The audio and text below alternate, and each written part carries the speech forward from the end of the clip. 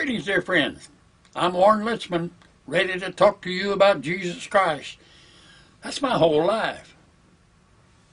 That's my entire life is Christ. Christ lives in me.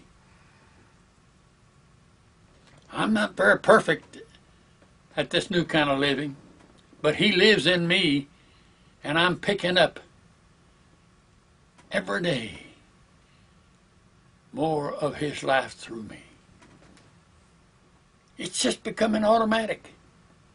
It's becoming a wonderful thing that Christ can so live in human beings as to become their only life.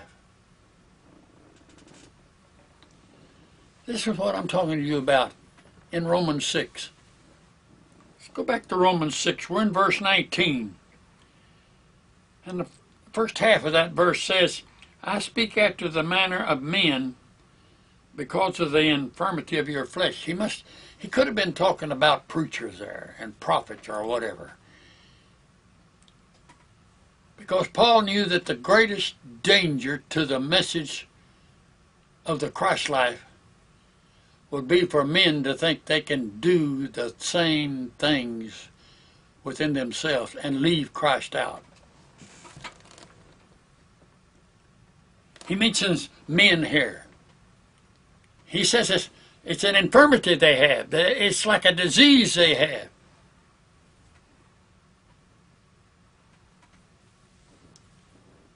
We're topsy-turvy. We're upside down.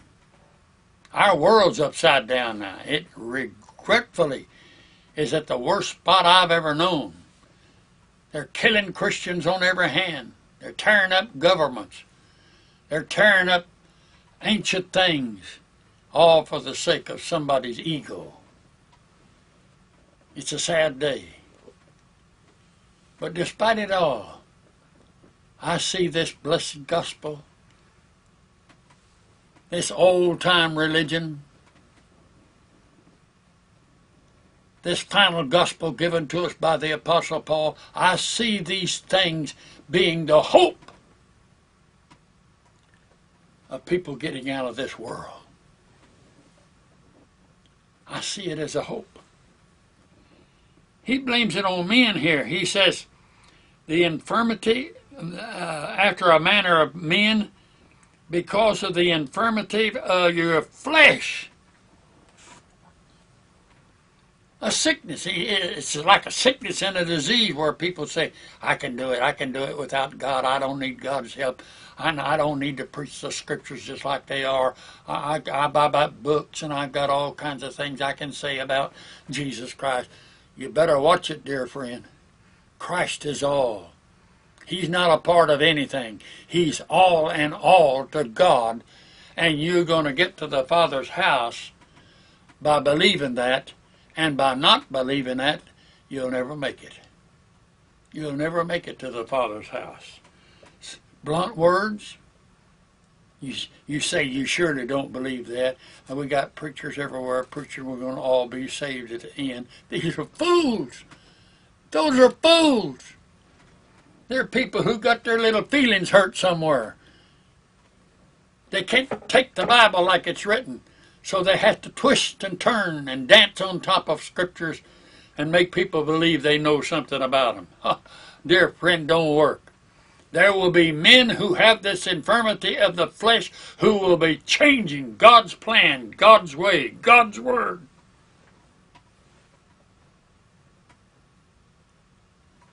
Today, if you want to reach a crowd, you have to tickle them with your words. Today, when I reach people, and it doesn't matter what part of this earth I'm on, I get this word before them. I get the scriptures before them. I want them to know what God is doing, what He says about what He's doing. And so He says, as you have yielded your members servants to uncleanness. He's talking about men who don't trust God. That's probably the most glaring error I see in religion today. Preachers, radio and television, begging for money.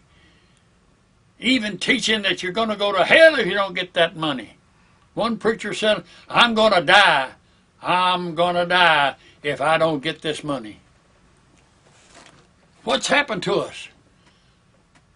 Lack of faith? Yeah. There's no faith. These people who are always after money, dear friends, are the ones who claim to be the faithful. They need to start with the simplest part of faith trust in God. Trust in God. It pays off. It pays off. The line says, because of the sickness, the, dis- the, the disease of your flesh, you have yielded your members that Christ came to live in you, in your body to use. You've yielded your members servants to uncleanness and to iniquity, unto iniquity. Even so now yield your members servants to righteousness unto holiness. Talk about that later. You know what happens to people? Let's talk about preachers. I know a lot of preachers. I've been preaching 62 years or more. You know what preachers do when they get a little bit of success? Instead of the Holy Spirit guiding them, they got a thing called ego that guides them. That guides them. And you know, we have become so knocked around and knocked down as human beings here in America that we just take anything that comes along. Take anything that comes along.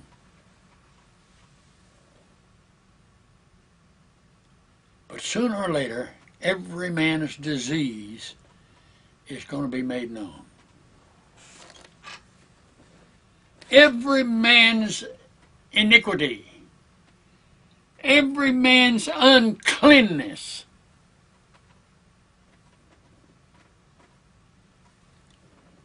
is going to be made evident. Listen to me, please. Don't play with your soul. If you accept Christ as your Savior, He has become your spirit. You've been joined to the Lord. You're one with Him. But don't play with your soul. Don't say, well, you know, I just like to go down there to that building. It's so pretty, and I have such reverence for it. I just like to hear that preacher preaching. He just says a lot of good things, and I take them right into my heart. You know, when I hear somebody preach, I listen how long they can talk without using the word Jesus. Would you be surprised that some of the very best talk an hour, pronounce a benediction, and never mention Jesus Christ? He's all we got to preach. You can't preach to people to be good. You got to preach to people to understand Jesus, to know Jesus, to live Christ's life. That's what the gospel is all about. That's what we have to handle.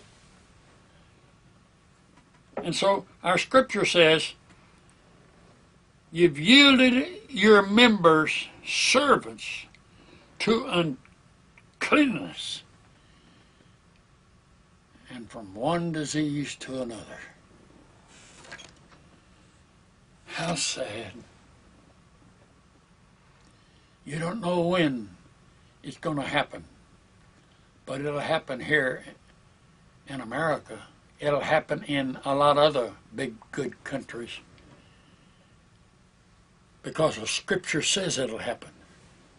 That in the the latter days, before Jesus comes, there'll be a great falling away. There'll be people turning away from Jesus. There'll be people who'd be coming up with a new program different from what the Bible teaches. Their sickness and disease will have a presentation in the form of another gospel. Paul was here. He'd say, Let any man that preaches any other gospel other than that which I preach, let him be accursed. I love those words. Those are good, straight words. No beating around the bush. No tap dancing on the scripture. Say it like it is. But whenever you withhold your members from the Christ that lives in you, you're going to have a disease that will punish not only you, but great numbers of people who listen to you.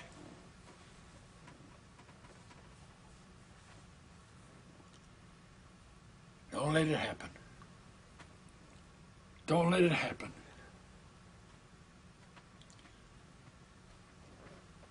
Dear friend, the world is going to hell. You can talk about victories here and victories there, and I thank God for it. There are some places where where people are really seeing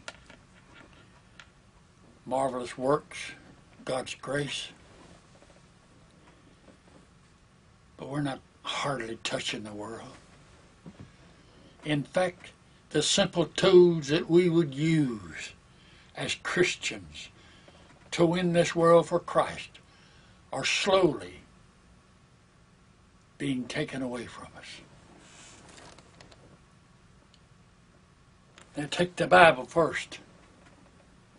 They take the Bible first. You can't have it in a university.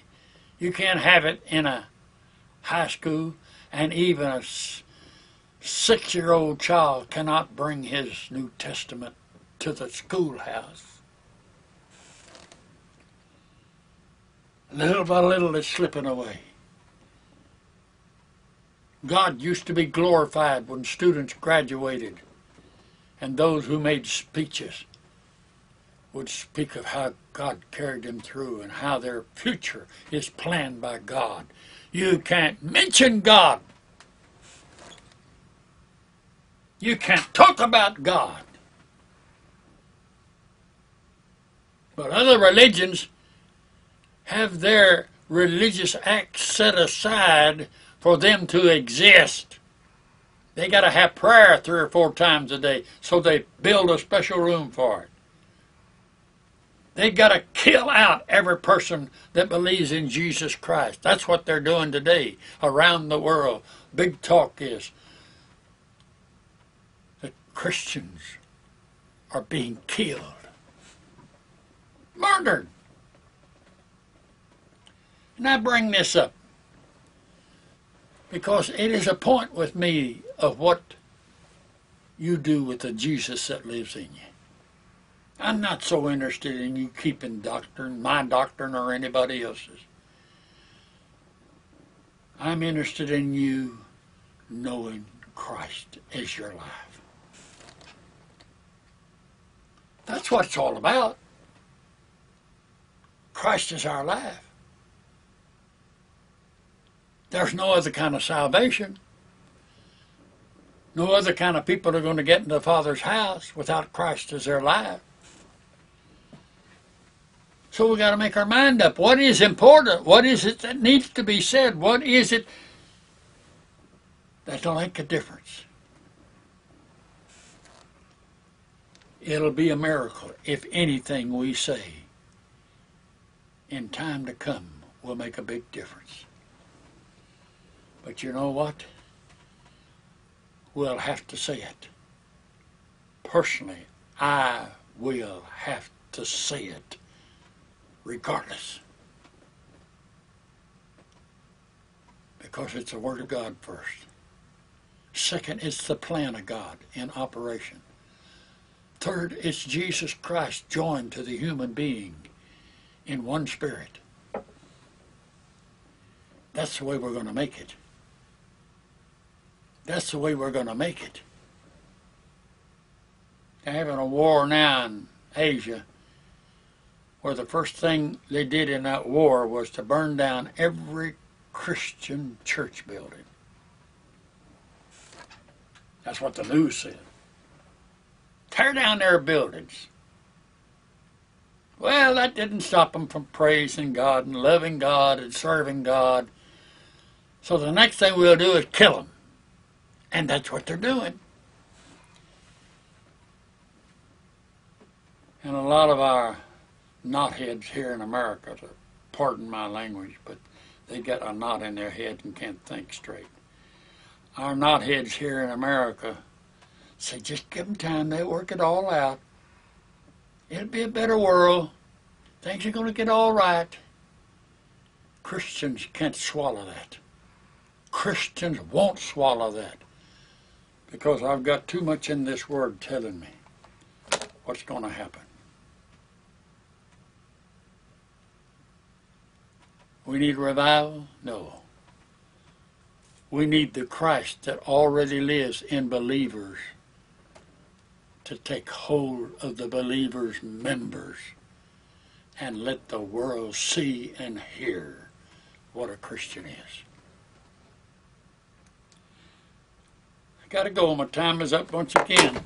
Thank God you listened today, and I hope you'll be back with me for next time. Bless you.